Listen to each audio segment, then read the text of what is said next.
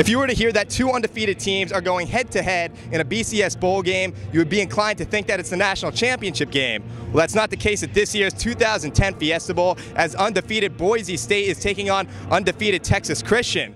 The Diamondbacks look to do some home cooking against the last place Pittsburgh Pirates. The night before, the D-backs bats were smoking hot as they put up 11 runs against Pittsburgh. What a game for the Sun Devils against Washington as they won 24 to 17 in absolute dramatic fashion. As I reported earlier in the week, wide receiver Kyle Williams will suit up for Arizona State. That pulled hammy not enough to keep him out of this one. Your ideal way for going out during the regular season at least, how would it be down in U of A?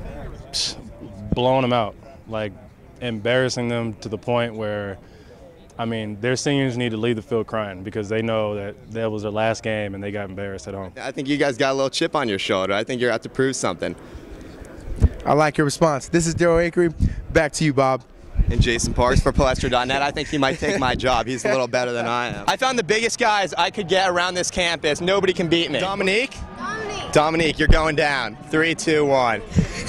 Yes, who's next? Let's. Oh, I might lose to this guy right here. And Iowa State, who is celebrating right now behind me, who were two and ten last year, ended up pulling out the game. I'm not gonna lie, I thought the roof was going to explode when Rihards Kuksiks threw down that jam late in the second half. With Oregon losing to Stanford, it puts the Trojans right back in Pac-10 contention with the season winding down. And I asked him about the NBA life, you know, the big paychecks, the private planes, and what team he wants to play for. Let's hear what James Harden had to say in the interview.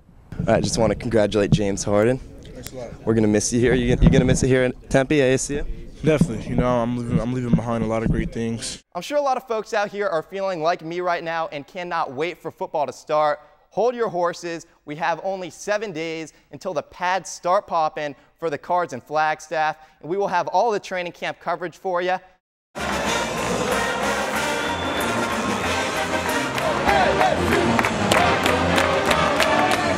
Herb Sendek and the Sun Devils taking on Sean Miller and the in-state rival Wildcats.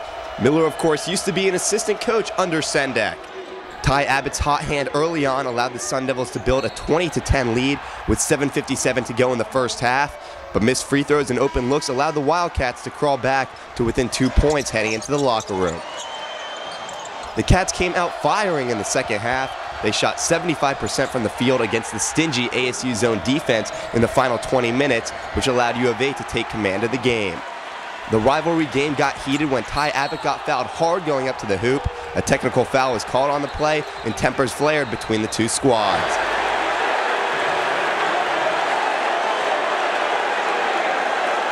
After the technical foul, surprisingly, U of A was a team that gained the momentum. They built upon their 10-point lead and ended up winning the game by 19 points to finally snap their five-game losing streak to the Devils. After the game, U of A coach Sean Miller downplayed the big win over their in-state rival. To make this any bigger than a good win for our team would be foolish for me or for our uh, for our guys. I thought our team did a really good job of competing and playing hard, and that's what you have to do against a good team like Arizona State. Um, of course, it was a little bitter, sweet rivalry with Arizona State, and uh, we came out here and handled business. But uh, you know, you always want to come out with the win, and uh, the rivalry just puts a little bit something behind it. So, but we, we wanted to win no matter what. There have been tons of internet rumors surfacing about Colt McCoy, the quarterback from Texas, at this year's 2009 Fiesta Bowl. Calm down, Longhorn fans. This is not a bad thing. It actually pertains to another issue. All right, here's the deal. Colt was born in Hobbs, New Mexico, but also born on Texas soil. How is that possible, you ask? Well, according to the legend, his father went down to Texas, got some of that Lone Star State dirt, brought it back to the hospital where Colt was being delivered. Some say he sprinkled it on Colt, some say he put under the bed, some say it was on the bed sheets. His dad just wanted to make sure that Colt was born on that Texas soil. I don't like drama, and rumors normally cause drama. So I had to ask Colt McCoy at Fiesta Bowl Media Day, were you or were you not born on that Texas soil? That's, that's as far as I know. I can't remember. I was a little baby. uh, that's that's what my family says. That's what my folks say. So I guess so. so. I guess he brought it over from Texas. I was born in New Mexico, and uh, you know, I guess the story is that he had it in a shoebox and he stuck, stuck it under the bed. But you know, that Nobody said it wasn't true so far, so I, I, guess, I guess it's true. While McCoy's parents say that he was born on Texas soil, to many people, this mystery remains unsolved. This has been Jason Parks for Palestra.net, the College Network. The Diamondbacks look to do some home cooking against the last place Pittsburgh Pirates. The night before, the D-backs bats were smoking hot as they put up 11 runs against Pittsburgh. Let's head out to Chase for the second game of the series. Arizona looking to run up the lead early in this one, and Chad Tracy helping out the cause with this bloop single in the bottom of the second that barely drops into left field. Miguel Montero, come on home. Arizona gets on the board first, 1-0 D-backs. Then we have a phenomenal catch by who else? Mark Reynolds. Fans, watch out. Reynolds makes the great snag while making sure nobody in those expensive seats gets hit with a ball. I'll tell you what, if more Diamondback players put their body on the line night in and night out like Reynolds, Arizona would have a lot more wins this year. And it is 115 degrees in Phoenix, and Ryan Roberts wants to go swimming. Roberts' first home run of the year, a solo shot, lands in the pool, and then, you know, a little joking around, silent treatment by the teammates in the dugout after the home run. But Pittsburgh had the last word in this one is the red hot Garrett Jones hit his 10th home run in his 18th game with the Pirates and the Diamondbacks fall 10 to 3. In a trade out in the majors today, the St. Louis Cardinals bolstered their bats by acquiring three-time All-Star Matt Holliday from the Oakland A's. The Cards had to give up three minor league prospects, including a former ASU third baseman, Brett Wallace, for the left fielder.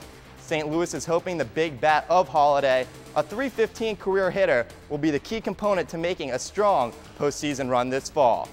From the baseball Cardinals to the football Cardinals, training camp is finally right around the corner, and make sure to keep an eye on this year's fourth round draft pick, Greg Toler, out in Flagstaff. Before getting drafted, the cornerback worked at J.C. Penney. Then he joined a semi-pro team before finally finishing up Division II ball. All Richard Science talks to Toler about his unlikely journey to the NFL. It's obviously sweet to get drafted by an NFL team, but because of what you've gone through and the work that you've put in to get to this point, is it extra sweet for you? Um, it's sweet. It's sweet, but I still know I got a mountain to climb, and like my brother always tell me, it's not we start, it's we finish. So if I was a free agent or anything else, I'm gonna still go as hard as I've been going and just trying to learn from the vets and just take it from there. Thanks, Richard. I'm sure a lot of folks out here are feeling like me right now and cannot wait for football to start. Hold your horses. We have only seven days until the pads start popping for the Cards and Flagstaff, and we will have all the training camp coverage for you. This has been Jason Parks for Fox 10 News. Have a good weekend.